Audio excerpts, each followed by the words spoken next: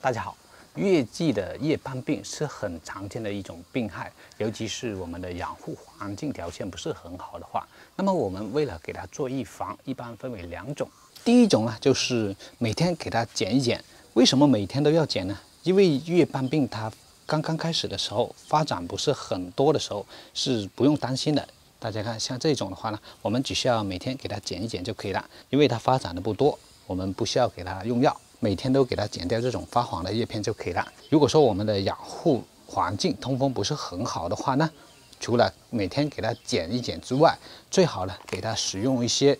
杀菌药，比如说像这种甲基硫菌灵作为预防，大概十天给它喷洒一次，按照一比一千的比例喷洒整棵植株的底部。上面有花的话呢，我们就不要喷洒到这些花朵，避免这些花朵出现肥害，导致它提前掉落。当然了，如果说这些叶斑发展的比较快的话，我们每天给它剪是完全不足以的。尤其是有一些花友养的比较多月季的话，每天给它剪的话，那可能就划不来，就需要给它使用多一点药物，大概十天或者是一个星期来给它喷洒一次，这样的话才起到更好的效果。如果说它发展的比较慢，只需要每天给它剪一刀就可以了。好了，这就是给月季预防叶斑病的一点小技巧。我们下一期再见。